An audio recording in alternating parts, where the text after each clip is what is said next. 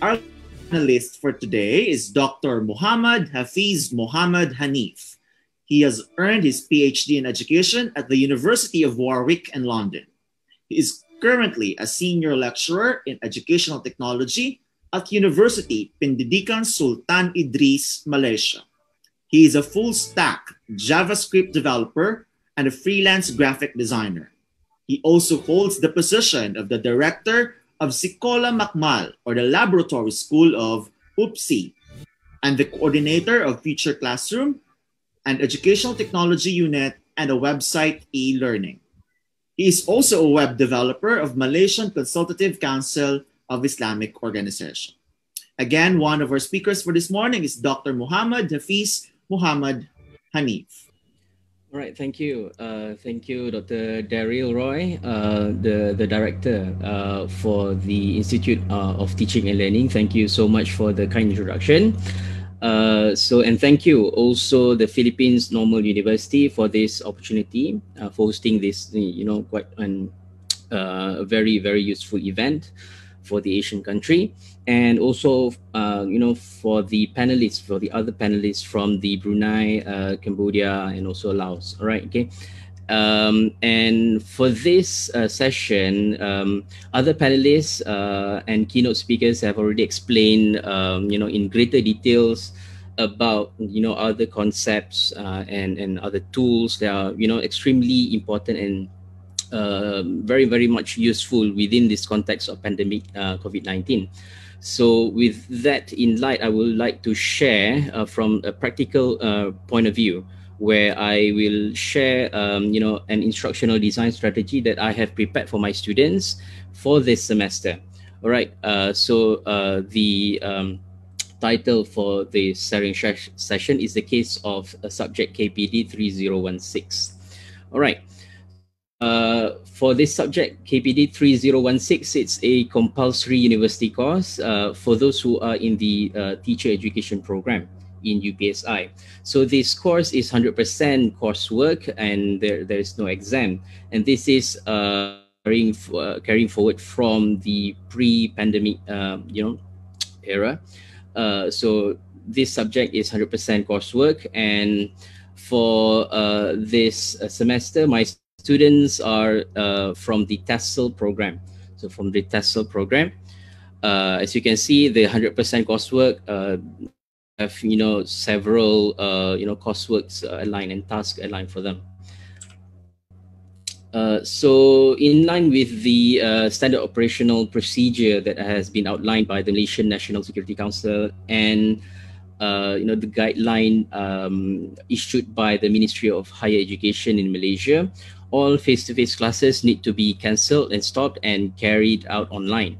So in UPSI, in UPSI, we understand that not all students, uh, you know, have equal access to the internet.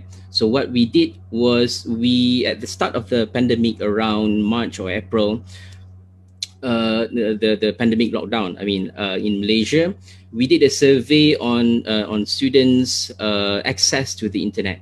So as a result, we have uh, a series of a mix of uh, results um, stating that you know uh, there are certain portion of the students are not able to actually um, you know have, have a good access to the internet. Uh, apparently, in some areas in Malaysia, there are still poor uh, you know uh, internet access in terms of bandwidth, lower bandwidth all right so they can't really support uh, you know video streaming and things like that. So what we have uh, catered for them uh, for UPSI, for those who are who have poor connection we see, switch the teaching and learning mode to uh, remote learning where we send materials uh, to them by email. So what we what we did was we've gathered all of the materials for all of the courses and we've put it in a thumb drive and we've shipped out that thumb drives to all of the students who you know have you know difficulty in terms of accessing the uh, you know materials that we have prepared uh, online. So uh, the assessment wise um, for that we also need to revise uh, because most of the courses have uh, final exams. So um, so within this uh, pandemic era it's not possible to have you know face to face kind of like the normal uh, examination in in, in in in the usual sense. So what we've done we've we had to actually revise uh, uh, the whole assessment uh, component for each uh, courses and to suit the current situation. So most of the courses opt uh, for final examination but it's in a different form where we, uh, we where we allow the students uh, to actually work on the uh, exams task and, and, and questions for a set period of time. So for example, uh, before this in final exam, we have three hours maximum for them to work on the task. Now within this uh, you know situation, we've allowed them 48 hours to actually finish up the task. So that is one of the examples uh, for the uh, final uh, final assessment. Assessment we, we don't really say final exam right now. All right. So my situation is my uh, my uh, my my almost all of my students have good to excellent uh, access to um, internet connection. So some are residing in the residential colleges in around campus, and others situated situated at various locations around Malaysia. All right. So uh, at the beginning of the semester, I had this epiphany because all of the lecturers have to do the online classes. So the online classes uh, before this is it's it's something that is different, something that is new. But in this pandemic era, lockdown, it's it's the new normal. So everybody is doing it. So there there is a possibility of students being bored uh, with all of the online classes, right? So uh, what I did was I analyzed uh, the background of my students. So my students are all TESOL students, 24 of them. And uh, I have the upper hand here because uh, I uh, was previous, previously a TESOL graduate. So I know a bit about what they, uh, they have covered within their curriculum. So I've jumped uh, to the opportunity of creating an immersive environment for for for for, for my students, for my uh, TESOL students that suit them. So um, what I did was that I transformed the whole semester into a Harry Potter film. All right. Okay. So it was a huge gamble because I, I, um, the, the students might not be, you know, familiar with the film or the novel uh, it's, it's my risky it's my uh, it's my luck probably that only just two or three students are not really familiar with the franchise. Uh, but other students are big fans of the books and films. So uh, whenever uh, you know these two or three students you know you know were confused with the terminologies that we shared within the group other students jumped in and helped them right? That's that's the that's the beauty of it and I renamed the course from Pedagogy, Technology, and Assessment to the Hogwarts School of Teaching Crafts and Technology. So just to provide the setting and the mood for the whole semester, right? So this is the actual plan. The whole this is this is still running. The semester is still running. We are at uh, we are entering week seven. All right. So this is the whole semester's planned. So within this uh, subject, we have three components pedagogy technology and assessment. Uh, and i have uh, planned it out so that it uh, coincides with the um, uh, you know the component the familiar familiar components that we can find in the harry potter films.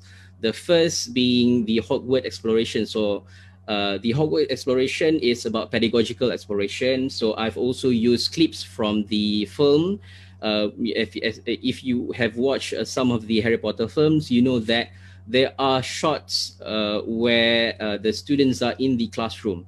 So I've used those uh, those those clips from those films to actually illustrate the kinds of pedagogical design that is underlying behind that, right? So for Quidditch, Quidditch matches, so this is basically quiz, but I have re- rewrapped it around, you know, the notion of having uh, battles, uh, you know, Quidditch matches, Quidditch battles uh, between the uh, the groups, okay, the houses within the Hogwarts uh, um, schools.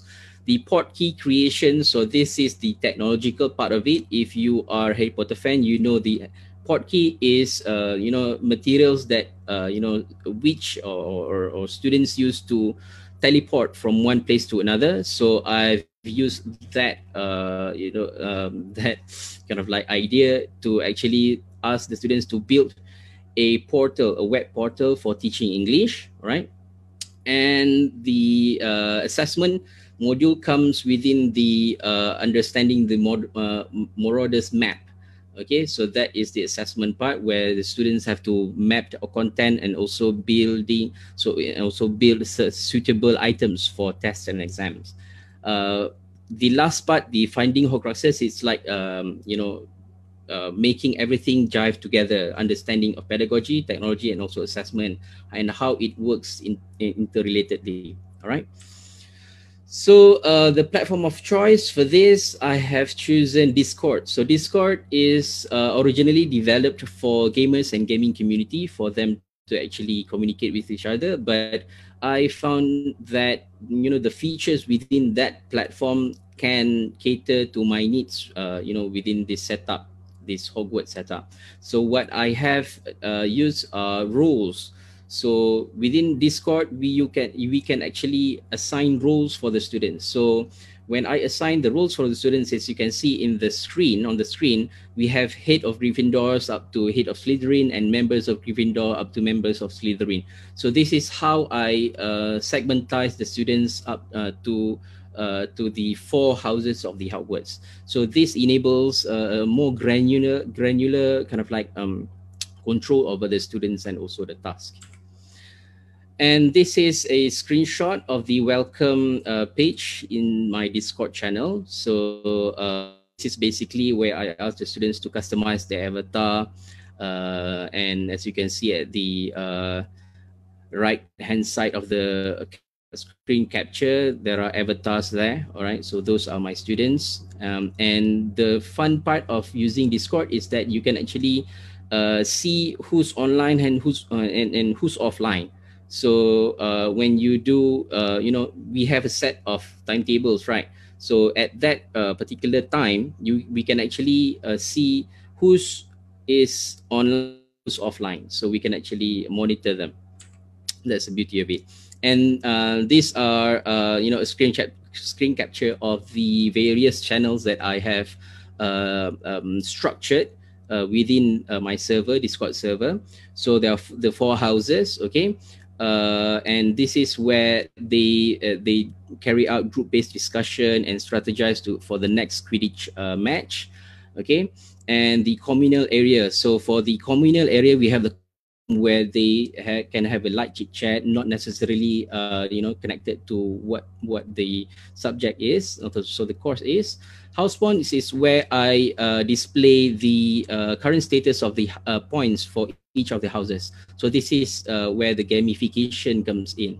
Newt Scamander's briefcase. Uh, so this is something that I have done for them to actually uh, as a space for them to share any other resources that that that uh, they they found online that might be beneficial for them or that can help them to actually curate better lesson plans so they they've been uh, sharing a lot of you know platforms and tools uh, that that I've also uh, not not haven't been discovered yet right? And also the live stream room. So this is uh, uh, where I do voice and also video live stream. But I prefer voice live stream because it it um, uh, it takes just uh, you know lower bandwidth. Uh, so it um, it will not take up much more data uh, from the students themselves so uh, this is a screenshot for uh, example of the voice live stream okay and this is one of the, the, the students in one of the Quidditch matches. This is where we're battling to determine who has the best lesson design ideas. So some some of them uh, adopt inquiry based learning activities. Uh, some of them are very straightforward. Uh, so this is where you know even though they they've situated uh, you know uh, all all over across Malaysia, but within this uh, platform they can actually share their ideas, work within groups, and you know uh, buckle up and uh, you know the the sort of uh, the sense of cam- camaraderie to actually work towards getting points for their houses. That is what I that is what I really really uh, you know treasure this this kind of uh, lesson design strategy. Um, and this is the house points, uh, the one that I have uh, shared to you just now. So this is just a sample. Uh, and students found it very motivating to work to work together in each houses to outdo other houses, right? So this is where you know I motivate them, and this is sample rubric for one of the activities. Okay, uh, so Discord is very limited in terms of this. This so what I've done is I've used external services, like for for, for example, this is a uh, Google Sheet uh, that I've shared with uh, the students inside the Discord to complement, uh, you know, the setup. And this is uh, these are these are the feedbacks. So as you can see, the students are very much open, uh, welcome to the idea of, you know, having a role play for the for the whole of the semesters. Uh, this is something, uh, according to them, this is something that is very new for them. None of the lecturers uh, have, have tried this before. And this is something that I want to achieve actually, because, you know, uh, as at, at, the start of my uh, presentation, my sharing session just now, I said that a lot of, uh, you know, other, other lecturers are doing, are doing the online teaching, online learning, online lecturing. Uh, and uh, they and the students are you know uh, having it you know uh, you know just one style of delivery. So i want to actually introduce another aspect of, of, of you know how you can actually approach this teaching and learning within this confined kind of like a situation all right and also this is this is a double double uh, kind of like uh, purpose because this uh, course, the KPD 3016, is designed for teaching them how to actually plan a lesson, plan a, a you know a well-planned lesson. So this the whole semester is actually is also um, a lesson for them to actually uh, be creative in terms of you know coming up with lesson lessons ideas. All right. So some takeaways points. Uh, first is consider students' interest. Okay, uh, because uh, oh, uh, the lecturers, we can't actually just focus on our content, delivering the content. We've also have to actually uh, take into account students' interests because you know um, uh, I think uh, all of you know the motivation is one of the key components in driving students. Uh, you know. Um, progress uh, performance and things like that so we need to actually motivate uh, and within this mediated environment, the online learning, uh, you know, a lot of uh, tacticity of teaching and learning is, is are missing. So presence, for example, social presence is very low, and, and and so on and so forth. So this is something that we need to also work on. Uh, understand and use latest subculture and references, and this is something that I have been using. I'm uh, I've used uh, memes with the I've used references like Among Us. Uh, Among Us is a game that is that that is uh, you know the youth nowadays are uh, you know into. So uh, when I use the references in Among Us, you know the students are very much excited. They said, oh, "Okay, this uh, lecture is very hip."